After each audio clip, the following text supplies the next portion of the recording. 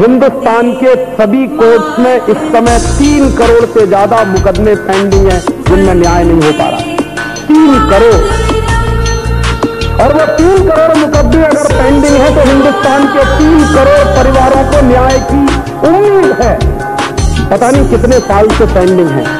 और वो बेचारे न्याय की उम्मीद में कब इस दुनिया से चले जाएँगे, पता नहीं कब उनको न्याय मिले ये अंग्रेज़ों की न्याय पद्धति ये न्याय नहीं करती, अन्याय करती। और इस पद्धति में क्या होता है? एक बात ध्यान से सुनिए। न्याय एक अलग चीज़ है, कानून के आधार पर फैसला एक दूसरी चीज़ हिंदुस्तान के जितने न्यायालय हैं, उन सभी न्यायालयों में न्याय नहीं होता। कानून के आधार पर फैसले होते मैं जब भी जाता हूँ, हम तो अक्सर जाते रहते हैं कोर्ट में। हमेशा मुझे एक ही बात सुनाई देती है कि यहाँ पर कानून के आधार पर फैसले किए जाते हैं। और अगर कानून गलत है तो फैसले गलत होंगे। और अगर कानून गलत है तो फैसले गलत होंगे। तो न्याय कहाँ मिला मुझे? अन्याय ही हुआ मेरे ऊपर।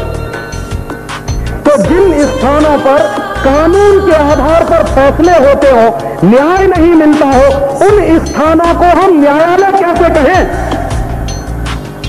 कैसे कह सकते हैं कि हम ये न्यायालय हम उनको कायदा में तो कह सकते हैं। कानून आलय तो कह सकते हैं, वो न्यायालय कहते हैं।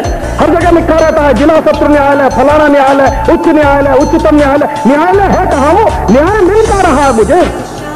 मेरे तो मुकदमे में कानून के आधार पर फैसला हो रहा ज़रूरी नहीं है कि वो कानून सही ही हो, और अगर कानून गलत है तो अन्याय होगा मेरे साथ। तो उनको हम न्यायालय क्यों कहें? इनका नाम बदल देना चाहिए सबका। कायदालय कर देना चाहिए, कानून आलय कर देना चाहिए। कैसे मानू कि न्याय मिलेगा मुझे?